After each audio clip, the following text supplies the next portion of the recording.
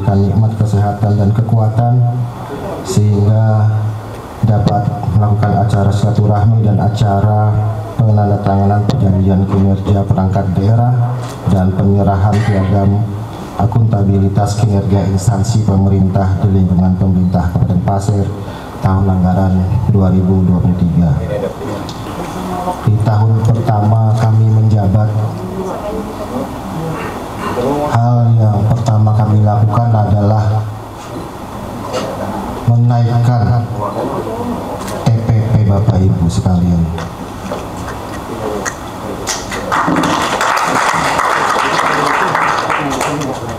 TPP dinaikkan itu merupakan salah satu bentuk perhatian dan kepedulian kami.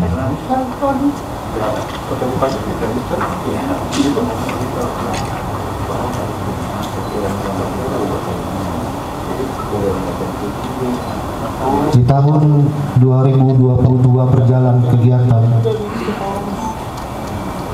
kami mengevaluasi semua kegiatan yang ada di OPD OPD.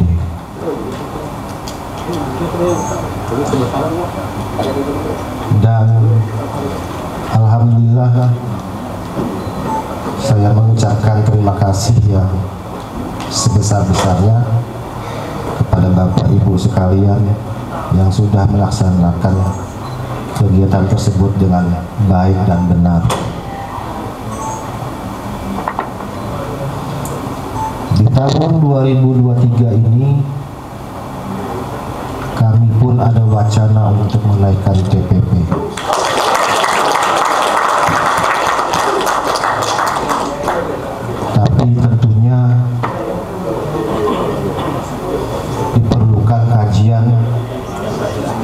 Yang lebih mendalam apakah masih bisa dilakukan itu.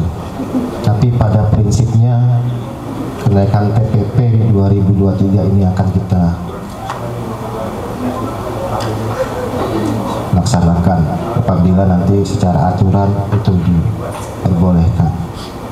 Tapi ada tapinya ini. Makanya jangan tepuk tangan dulu Bapak Ibu.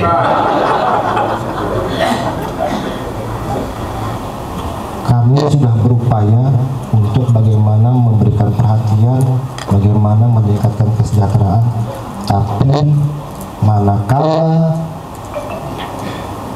kinerja Bapak Ibu juga tidak bisa melaksanakan komitmen yang ada,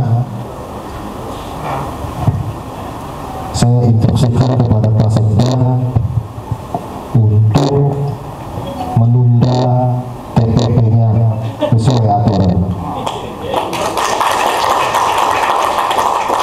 Harus fair. Perjanjian kinerja di tahun 2023 ini yang akan kita tangani bersama merupakan komitmen awal Bapak Ibu lagi melaksanakan kegiatan di tahun 2023.